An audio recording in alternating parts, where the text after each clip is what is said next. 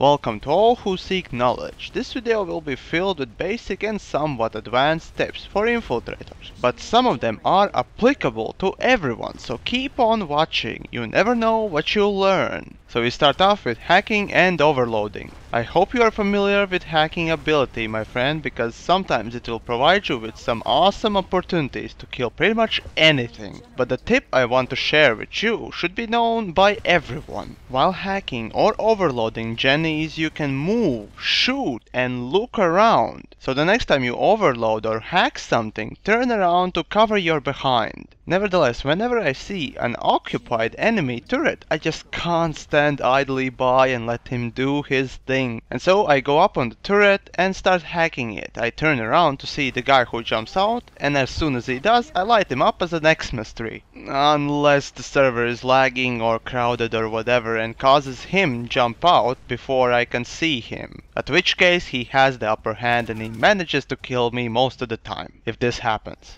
Reload and cloak. No matter where you are or what you're doing, you can't be too careful. And you know, the most vulnerable time comes when you are reloading. So the tip here is that you should always try to reload while cloaked, because in that moment you're most vulnerable, and being invisible helps a lot. Sit still. Although this tip is very basic, it still should be mentioned. It is quite obvious that in this game, cloaks are not completely invisible. But of course you can increase or decrease cloak's visibility by standing up or crouching, moving or staying still. Quite obviously you'll be least visible once you are crouching and sitting still. And of course most visible once sprinting. And that simply tells you that you don't have to start running once enemy spots you. All you need to do is get behind some cover and sit still. And maybe hope for the fact that he forgot that you are there. Mine in a group.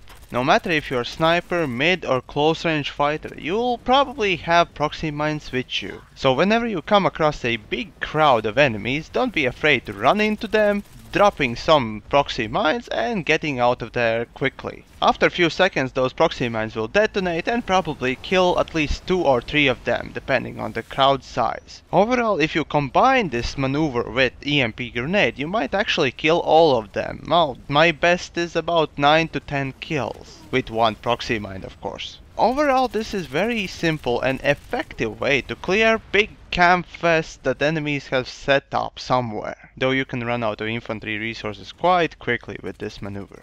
Stalking the point. One nasty, cheesy and quite effective way to use your stalker cloak is to go on some enemy base and sit on the point, that you can capture of course. And so being cloaked there you sit preventing enemies access to the next base over. Sure, it's kinda suicidal, but oftentimes seeing how those desperate enemies search for you is just priceless.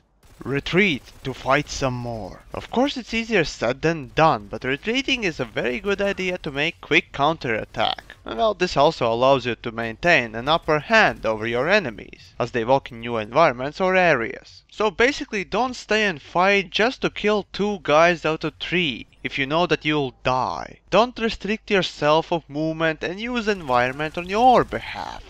Overextending. Now there will come time when you get your groove on and start killing dudes left and right, but heed this warning. Never engage more than two enemies at the same time. By this I mean don't jump from target to target by not killing them. Just take one or two targets at most and try to kill them at the same time. The fact that infiltrators weapons in general are quite weak, you won't really be able to take out more than two enemies out with one clip. So take it easy and pick easy targets one by one. After all, you don't have to try and rape the whole crowd, because they will turn on you like that. Important targets. No matter if you play CQC or Sniper, if you see still an easy enemy tank driver, kill it! After all, taking out one whole tank is very beneficial for your teammates. And it's kinda funny when you take out that poor engineer who desperately tried to save his tank. But then you arrived at the whole bag of nope! Of course, in bigger infantry battles, focus on AV turret operators and medics first while try to avoid killing enemy snipers if you are sniper yourself, because they are pretty much the only ones that actually can hurt you. And the final tip from me would be about range finding. So as a sniper I can tell you that knowing your range is very important to actually make one hit kill all the time with every bullet. But then again, if you're using any other projectile that is affected by gravity, you still need to know the distance. So of course you have implant for range finding, but let's say you don't have it. How do you find your range between you and some point in the world? Well, quite obviously you're gonna use your personal waypoint. You can easily set that from map, but you can also put it on your minimap if you press Alt and then use your cursor and left click on minimap. And so there, I hope you learned something. Anyways, this video is a part of my big infiltrator guide series, and if you want to check out other parts, be sure to visit my channel.